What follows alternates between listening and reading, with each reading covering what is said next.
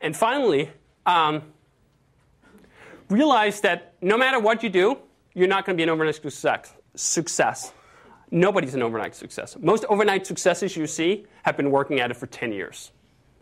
And that's exactly how it was for us. 37 Signals was not an overnight success. Basecamp was not an overnight success. And then all of a sudden, something blows up and it looks like these guys just got started on it. Which is where this whole thing of accelerating your growth and getting venture capital so you can grow faster and quicker is just a charade. It, it doesn't work like that. Companies take a long time to get to something good.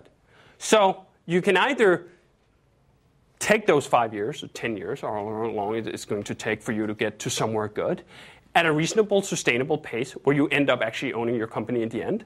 Or you can strap that time bomb on your back and see if that's going to make you run faster and if you're going to be happier in the end. I think you're not.